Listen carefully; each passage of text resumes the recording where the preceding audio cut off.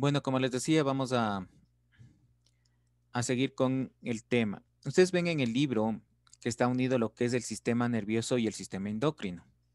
Yo por razones didácticas les voy a dar primero lo que es el sistema nervioso y después vamos a ver el sistema endocrino. ¿Sí? Entonces ven que al comienzo, ¿no es cierto? Ustedes pueden ver en las en la unidad 4 del libro. Primero comienza con el sistema nervioso, pues sigue el sistema endocrino. Después en el siguiente tema dice el ser humano 1, asimismo comienza el sistema nervioso, después sigue el sistema endocrino. Ahorita, como les digo, por razones didácticas voy a seguir con el sistema nervioso, ¿sí? Entonces, voy a compartir pantalla, por favor. Bueno, a ver, señorita Borja, ¿qué vimos la clase anterior? Vimos sobre el sistema nervioso, Ya, pero ¿qué más, señorita? Hágame un pequeño resumen. Ya le doy, espérame un ratito. Sáquenos apuntes.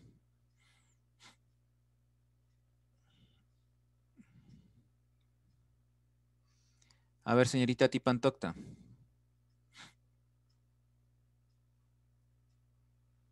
Hablamos sobre el sistema nervioso y el sistema endocrino ahí mismo porque decía que el, el sistema nervioso se era por tenía algo que ver con las hormonas y era un complejo de órganos y estructuras y que son células especializadas llamadas neuronas. Bueno. Y son receptores de los sentidos. Ya, muy bien. A ver, señor Hidalgo, ¿qué me puede decir usted?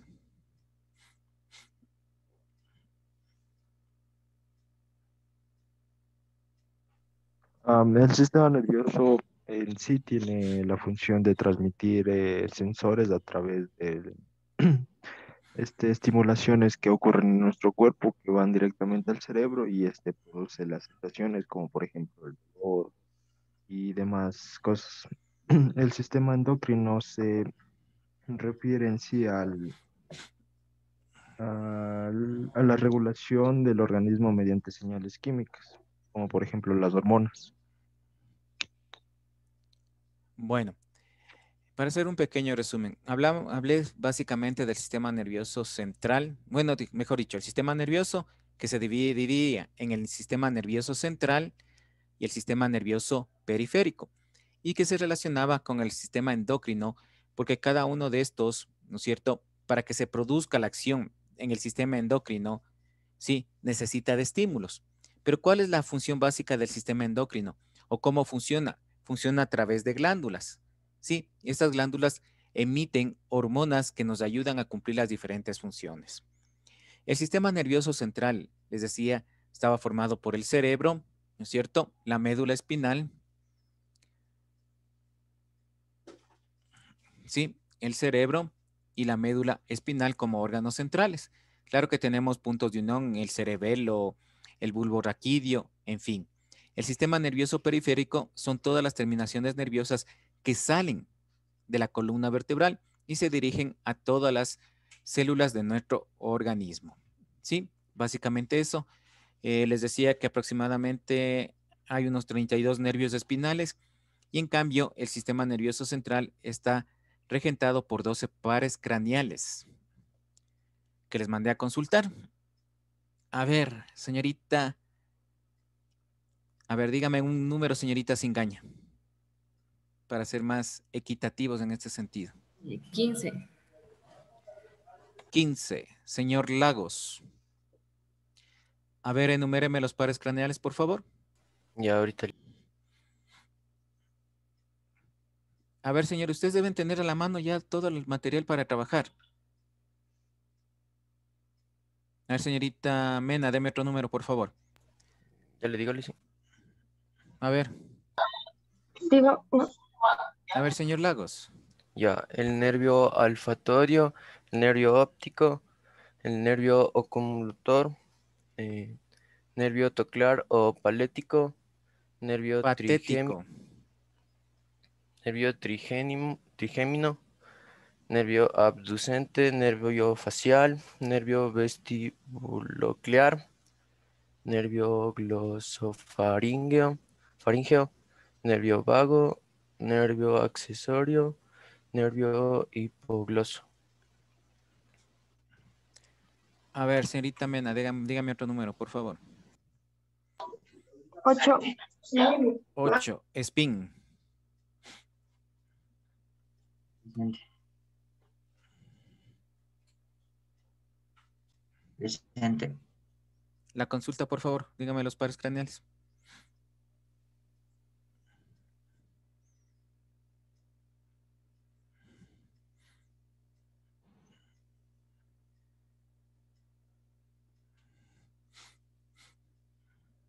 No. Bueno.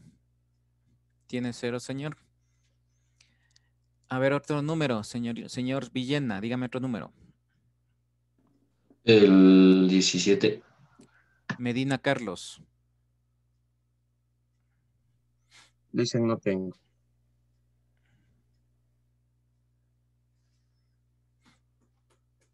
A ver, señor Medina, dígame otro número usted. 16.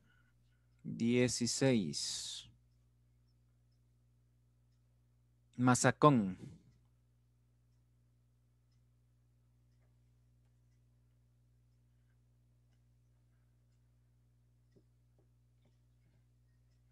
No está Mazacón. 17 más 5. Veamos, 22. Pérez Dylan. Ya, licenciado, son el nervio hipogloso, nervio accesorio. En orden, por favor. En orden. Ya. El nervio olfatorio, par genial 1.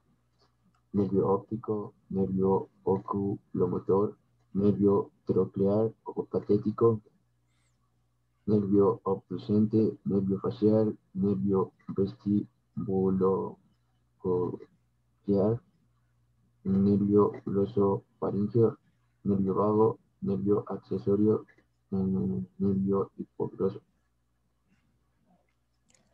Bueno. A ver, para que todos anoten, por favor. Los pares craneales son, primero, olfatorio. Segundo, motor ocular común. A ver, perdón. Segundo es el oftálmico. Segundo es el oftálmico. Nervio óptico, nervio oftálmico, motor ocular común. Siguiente, patético. Quinto par craneal, nervio trigémino.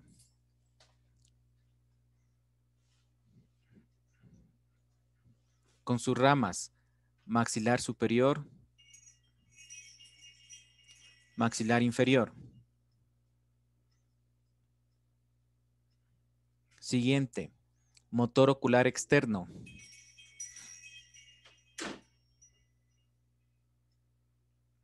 Siguiente, facial. Con su rama intermediaria de Gruisberg. Facial con su rama intermediaria de Gruisberg. Con W, R, I, S, B grande, E, R, G, Gruisberg.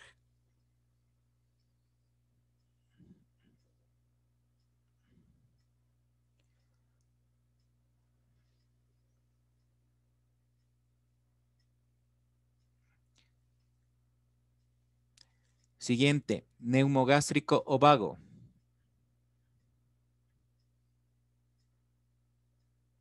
Siguiente, hipogloso mayor.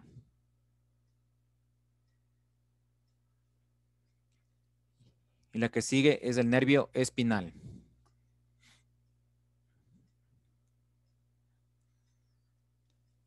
Bueno, vamos a seguir con la materia. Para que el, sistema nervioso central ¿sí? cumpla con sus funciones, necesita de neurotransmisores. ¿Sí? ¿Qué son estos neurotransmisores? Como dice ahí, tienen defectos, dif- diferentes efectos en el organismo. ¿sí? Son sustancias que nosotros las fabri- fabricamos naturalmente, pero también les podemos suministrar a manera de fármaco. Vean, tenemos la adrenalina, la dopamina, la serotonina y la GABA. ¿Sí? Como ustedes pueden ver, la adrenalina nos ayuda, ¿no es cierto?, a activarnos a nosotros. Ustedes han de ver frente a un estímulo o frente a una acción. ¿Qué saben decir ustedes? Se me subió la adrenalina, ¿no es cierto? Han de haber oído ese término. ¿Sí? Cuando están eh, básicamente haciendo una acción o un estado de excitación. La dopamina aparece en los estados de placer, la serotonina en los ánimos y la GABA en básicamente en la tranquilidad. Vean, otros eh, eh, neurotransmisores es la noradrenalina y la glicina y el glutamato. Todas estas funciones, ¿no es cierto?, ayudan o se presentan en los diferentes estadios o estados que presentamos cada uno de nosotros. Bueno, aquí tenemos un cuadrito, por favor. Eh, tomen una captura de pantalla, ¿sí? De los diferentes neurotransmisores y dónde se encuentran.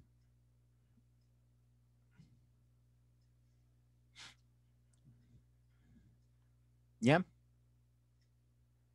Bueno, vamos a ver. Cuando hablamos de la corteza cerebral o del cerebro, ustedes ven que está formado por dos hemisferios, ¿sí? Eh, dos hemisferios teniendo en una parte central una cisura. Esta cisura se llama cisura interhemisférica. Como les decía en las clases anteriores, el cerebro no se presenta de una forma lisa, ¿sí? Presenta unos surcos, ¿sí? Y unas elevaciones. Cada uno de estos, vean, tenemos eh, las zonas en la cual el cerebro está trabajando, ¿sí? En la parte anterior y en la parte posterior. Si tenemos en la parte anterior y lado izquierdo es lógico analítico, parte anterior y derecho es visión y creativo, parte posterior y derecho es emocional y relacional y parte posterior izquierda es organización, planeación y control. Cada una de estas áreas funcionan, ¿no es cierto? Eh, básicamente de una forma eh, sincronizada. En, este, en esta diapositiva ustedes pueden ver qué funciones cumple el hemisferio derecho y el hemisferio izquierdo. ¿Sí? Vean, la izquierda, la lógica, los números, los negocios, el escribir, el lenguaje, la razón, la ciencia, el análisis, el objetivo, el valor funcional y el intelecto. En cambio, en el lado derecho es el arte, la creatividad, la música, la imaginación, la perspicacia, la intuición, los sueños, la hipnosis, la telepatía, lo que es espiritual y la percepción. Todo esto trabaja el hemisferio derecho y el hemisferio izquierdo. Como les decía, cada, cada esta es una vista inferior del, del cerebro, ¿no? Vean, al ver esta vista inferior podemos ver eh, que también aquí presenta diferentes estructuras, que no le vamos a ver mayor, en, en mayor intensidad, porque esas estructuras básicamente, eh, como les decía en la clase anterior, eso se ve con mayor profundidad a nivel, siquiera necesitamos tres meses para ver todas estas estructuras. No sé si tienen alguna pregunta hasta aquí. ¿Alguna situación, algo que decir?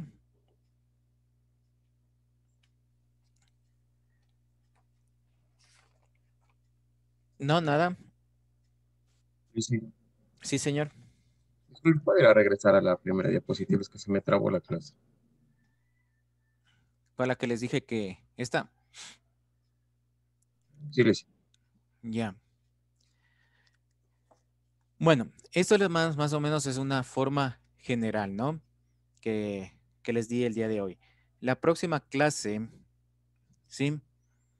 Vamos a ver en mayor profundidad ya lo que es las neuronas, cómo está estructurado, cómo es la, básicamente la intercomunicación que tienen cada una de estas neuronas, ¿no?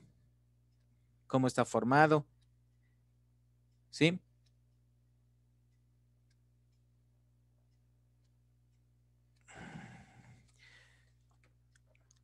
Bueno, les decía, por razones de tiempo, ahorita ya estamos con 7 y 30, comenzamos un poquito tarde, por eso no avanzo con más con la materia porque nos vamos a quedar a medias. La idea es que atienda.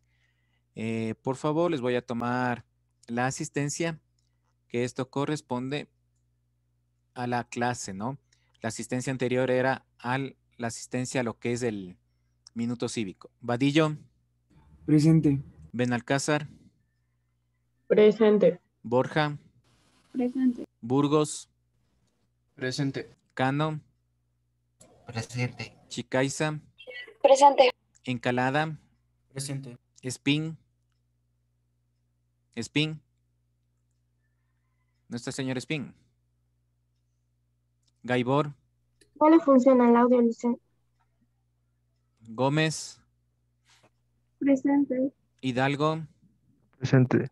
Jacome Nicolás, Presente. Alondra, Presente. Jiménez, Presente. Lagos, Presente. Mazacón, Medina, Presente. Mena, Presente. Mena Keila, Presente. Ocaña,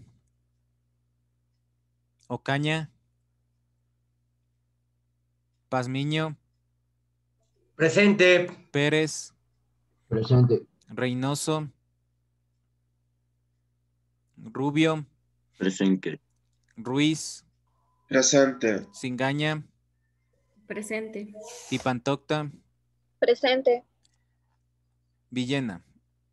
Presente. La señorita Ocaña mismo no está, ¿no?